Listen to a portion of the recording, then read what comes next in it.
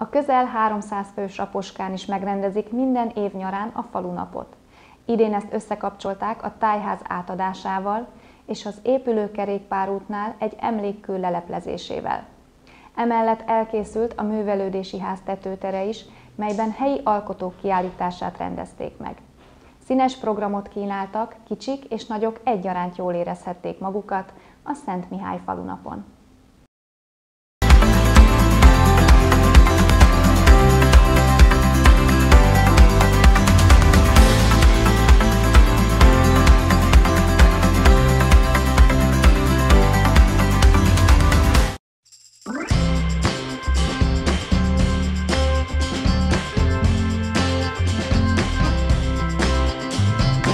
Benépesült a művelődési ház udvara, sokféle lehetőség nyílt a könnyed szórakozásra.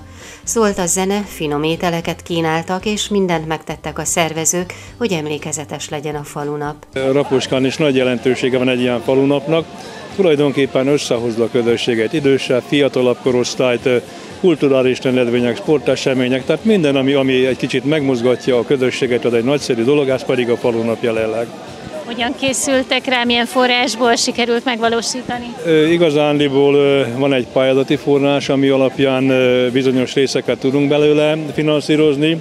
A többi rész az saját finanszírozásban történik meg, és nagyon sok önkéntes társadalmi munkával, miután Rapuskán nincsenek közmunkások, közemberek, tehát igazándiból mindenféle pakolás, rakaródás, sátorverés, az itt a helyi közösség, a tűzoltóegylet és a többi csapat embereknek a munkájából adódik össze. Kiemelt eseménye volt a falunapnak a tájház megnyitása, mely nagy büszkeséggel tölti el az itt lakókat. A, az a népség, aki nem ismeri a történetét, az a múltját nem tudja, akkor a jelenével sem tud mit kezdeni. Azt gondolom jó, hogy azok a fiatalok meglátják azokat az eszközöket, amikor egy lavor és egy vödörvíz volt, és az volt a fürdőszoba, azzal megoldották a fürdést, most ezt el sem tudnánk képzelni, de a különböző használati tárgyak, a, a spalhert, a, a különböző teknők, meg a kéziszerszámok mind-mind olyan dolgokra buzdítják az embereket, igen, ilyen elértek, hát ilyen elértek az elődeink. És ezt jó, ha tudják, nem baj, ha tudják.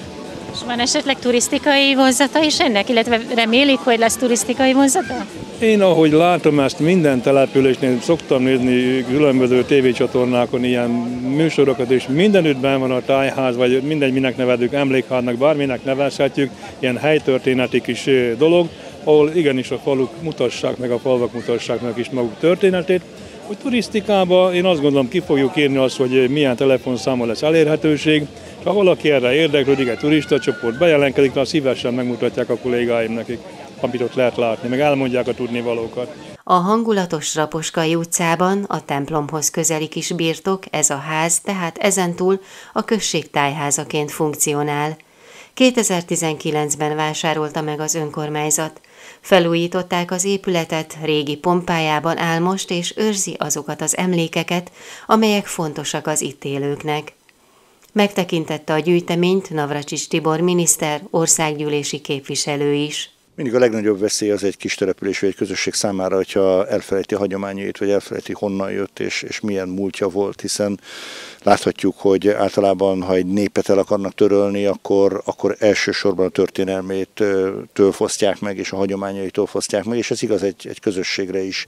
Az tehát, hogy itt most létre tudott jönni ez a tájház, ahol össze tudják gyűjteni a raposka múltjára ö, utaló tárgyakat, emlékeket, ez egy szerintem egy nagyon jó kezdet, és az, hogy meg tudták csinálni, ez azt is mutatja, hogy Raposka egy erős közösség, a múltjával számot vető és a múltjára számot tartó közösség, egy ilyen közösség közösségnek pedig jövője is van. Polgármester úr büszkélkedett azzal, hogy több mindent sikerült megvalósítaniuk az elmúlt időszakban a Magyar Falu program segítségével. Így fejlődnek a magyar falvak, ahogy Raposka jó példa erre? Raposka teljesen jó példa erre, hiszen e, egyrészt a szerencsés földrajzi fekvésének köszönhetően, de a kiváló vezetésnek és a közösségnek köszönhetően is egy, egy olyan falu, amely, amely a képek alapján is látható, hogy rendben van. Egy nagyon szépen megújult, ráadásul nagyon nagy vonzerővel rendelkező falu, ahova folyamatosan akarnak betelepülni, valóban egy kicsit példája lehet a magyar falvaknak, hiszen azt láthatjuk, hogy a Magyar Falu Program visszaadta az életerejét a falvaknak, és nem hogy megállt a népességfogyás, de a szerencsésebb falvak esetében már népességgyarapodásról is beszélhetünk. Nagy sikere volt a délután folyamán a tűzoltó bemutatónak, sokan voltak kíváncsiak erre is.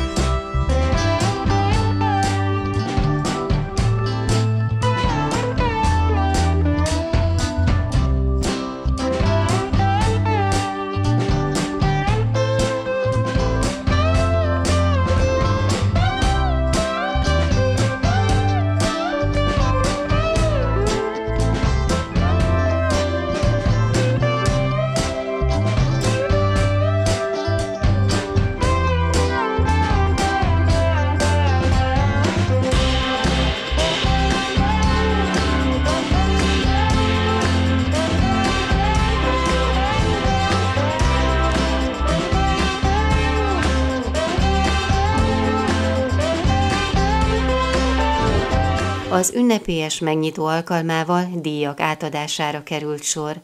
A raposkáért posztumusz kitüntető címet egy nem régiben elhunyt három gyermekes édesanyának ítélték oda, aki a közösség aktív szereplője volt. Raposka díszpolgárának pedig a házi orvost választották. Mit jelent ez a díj az ön számára? Mit jelent Raposka díszpolgárának lenni? Ez egy nagyon nagy megtiszteltetés. Most 20 éve vagyok körülbelül a falu orvosa, nagyon szeretem a falut, tényleg nagyon jó lehet a vezetőségével is együttműködni, és a lakosság is maximálisan együttműködő, és jó kapcsolatom alakult ki velük. Nagyon boldog vagyok, hogy ilyen kitüntetésben részesítenek. Mikor ide költöztünk, erre a, a vidékre, és kezdtem dolgozni. Először itt laktunk a lányaimmal Raposkán. Nagyon szerettünk itt lakni, minden nap mentünk a Szentgyörgyhegyre kirándulni, tényleg nagyon jó volt. És olyan jó hangulata van ennek a falunak, de látják, jó rendezvényeik vannak, részt vesznek az emberek, vidámság van, tényleg ez egy nagyon kellemes, jól élhető kis falu. Itt ezen a ponton is áthalad az új kerékpárút, mely a Balatonhoz vezet majd, és a korábbi alapkőletétel után ezen az alkalmon egy emlékkő, egy bazaltoszlopkő leleplezésére is sor került. És még egy újdonság várta a nagy közönséget, a művelődési ház felújított tetőterében nyílt meg helyi alkotók műveiből egy hangulatos tárlat. Tehát így ötvözik a raposkaiak a kultúrát, művészetet és a folyamatos fejlődést. Értik is ezt az itt élők, és ragaszkodnak is a falujukhoz. Meséljen arról, önnek mi a kötődése Raposkához? Én világéletben raposkai voltam, itt is születtem. Úgyhogy még minden ide köt bennünket. A Szentgyörgyhegy, a, a tájszépségen már sok fele jártunk a világban mi is, de ezt nem lehet átcserélni semmi másra. És mi jó még itt a faluban? Egyrészt a természet adta lehetőségek, másrészt? Az emberek. Az emberek befogadóak, akit meg szeretnek, befogadjátok, nem, az, az is itt élhet, de azért másabban vagyunk. Úgyhogy az emberek jósága, már itt a jó emberek vannak végig. Itt a Szentgyörgyhegy mindenféle ide köt minket, úgyhogy Más nagyon nem tudok mondani rá, de nem mennék el sem ennyi pénzzel se innen ebből a kis faluból. És mi a jelentőség az ilyen közösségi rendezvényeknek, mint a falunak? Hát ez olyan összetartó. Itt most már ritkábban találkozunk, nem úgy, mint régen. Így legalább az újakat is megismerjük, meg a régiekkel. Az, az, az, az összehoz bennünket.